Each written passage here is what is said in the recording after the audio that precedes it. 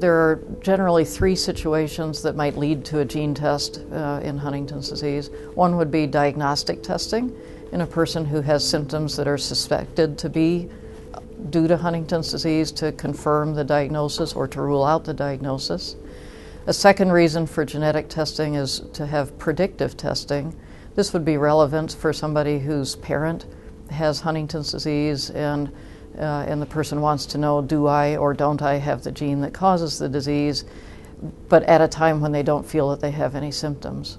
And the third situation where somebody might want a gene test is uh, for prenatal or pre-implantation testing uh, of a, of a uh, as part of their reproductive uh, planning. Diagnostic testing for Huntington's disease is pretty straightforward. Um, a patient comes with some kind of symptoms uh, that seem as though they may be due to Huntington's disease, and it's fairly straightforward to simply do the gene test to confirm the suspected diagnosis, or in some cases to rule out the suspected diagnosis.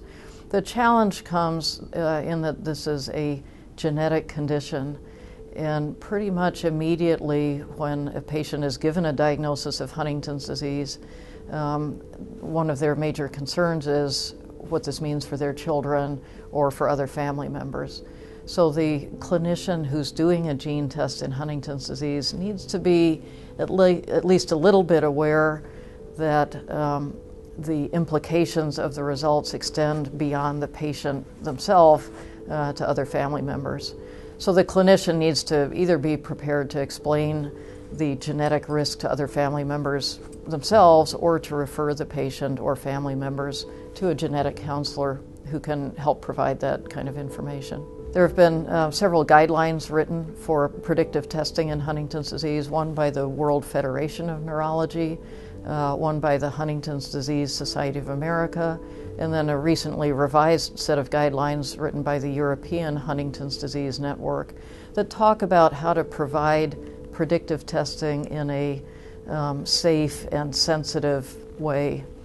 Um, it's important for patients to have genetic counseling before they have a predictive gene test, both to ensure that they understand what the results of the gene test will tell them and what the results of the gene test won't tell them.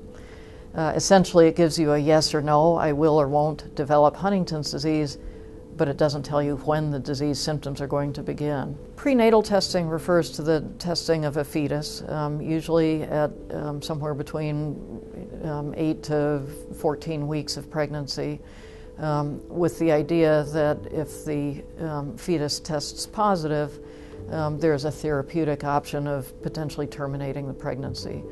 obviously, this kind of testing is very emotionally charged. Uh, there's there's time pressures, and it, it, obviously is best for the patient to have spoken with their obstetrician and a genetic counselor before the pregnancy occurs.